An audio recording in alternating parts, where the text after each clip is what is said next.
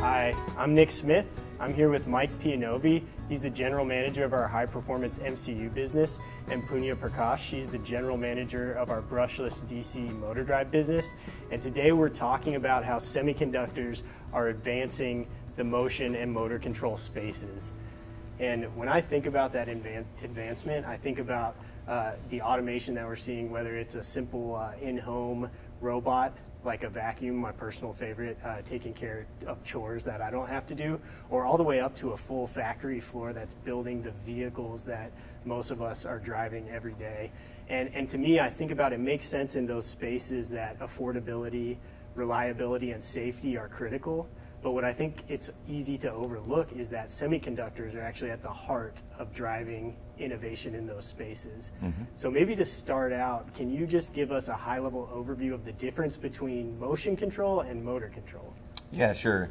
Uh, so at the most fundamental level, uh, motion control is really about uh, how you coordinate a bunch of different machines and sensors and nodes together uh, so that they operate in a very coordinated and, and efficient manner.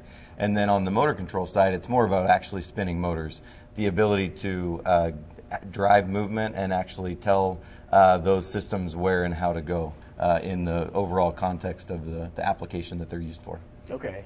Makes sense. So on the motion control side, kind of the brains coordinating uh, all of this movement, what are some of the emerging trends in the industry? Right. So when we look at the way that the industry is evolving in terms of the need for control and these different uh, automated uh, systems, you can think about it from a very simple context. Again, using your uh, in-home, you know, robot vacuum as an example, all the way up into a really highly complex factory setting where you may have multiple machines all needing to interact with each other uh, and you know again scale and communicate and be run safely and efficiently.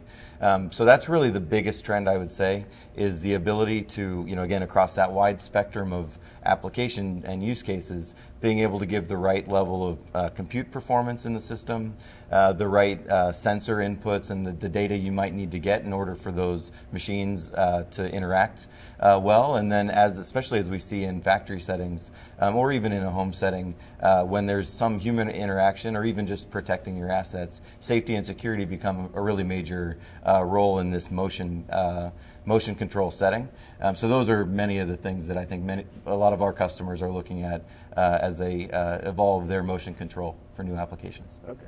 Yeah, it makes sense. The, the ability to scale, I'm sure it's quite different from uh, you know, a single simple robot back to up to a factory floor. So that ability to scale um, is important. And then I guess all of the coordination, all of the brains in the world won't matter if the motors aren't actually spinning. So on the motor control side, what are some of the industry trends that are emerging? So when you look at just the motor in itself, uh, really it comes down to three main trends. Every year when you look around you, the number of motors are just continuing to mu multiply. Be it something that used to be a mechanical switch before, it's now uh, controlled through electronics. When you think of just motors spinning constantly around you, you need them to spin more efficiently. So that becomes one of the trends. And when it's constantly spinning, you tend to hear them. So that's where the acoustic noise and performance becomes another big vector. And the third one, as you look at more human and motor interactions, especially in the factory setup that Mike was highlighting earlier, um, you tend to carry loads that are heavy. And anytime you have heavy loads, or even when you think of a car and you're moving in a car, you have your power steering, you have your braking.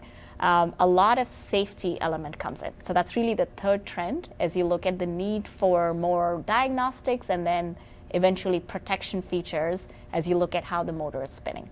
Okay. Yeah, it makes sense. And that's interesting. The, the amount of motors in the world is growing and growing. I think probably if I went home and tried to count, uh, I would be shocked by, by how many there are uh, around me. So, uh, very cool. And then as we're thinking about the coordination, the safety, these trends that, that you're describing, uh, for both motion and motor control, how are semiconductors driving the innovation needed to achieve these goals?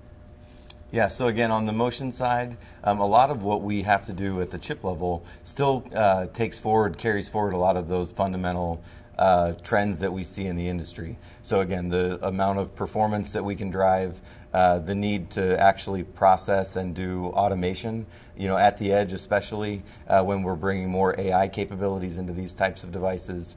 Um, that all has to be done at the semiconductor level. So within our chip, we have specific resources that either, you know, are receiving that data that we're looking at in terms of sensing, different uh, mode modalities, things that we need to look at, vision or, um, you know, radar or simple things like temp sensing and other temperature sensing or, you know, again, uh, motor sensing that we do. All that comes in, and then we uh, have to have the right level of resources to provide that capability, both at the simplest level, as we talked about before, all the way up into these very highly complex uh, applications as well. Yeah, so and then from a motor standpoint, uh, we spoke about efficiency, we spoke about acoustics, we spoke about safety. Um, when you think of the types of motors, there are simpler motors, and then there are very highly complex, high power motors. Very similar to the motion, the control aspect of things, even the motor varies. They kind of go hand in hand.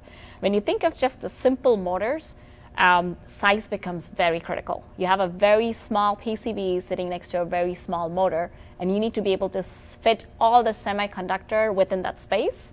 And there's some level of safety and protection monitoring that you want to continue to do.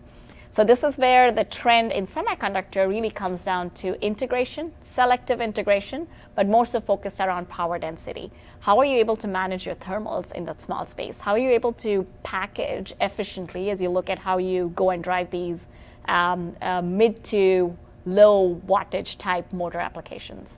On the higher end, uh, we continue down the trend of safety, protection, diagnostics, given the proximity of a driver to a motor, there's a lot of information that you can monitor then and there. So then you're able to provide that from a control system standpoint. So then we're taking the right action at the right time to safely turn the motor off. That's really ultimately what the safety pillar comes down to.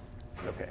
Yeah, makes sense. Well, Mike Punya, thank you so much. Uh, it's easy for me to think about and imagine how these spaces, the, the robots in home, the factory robotics are affecting my life.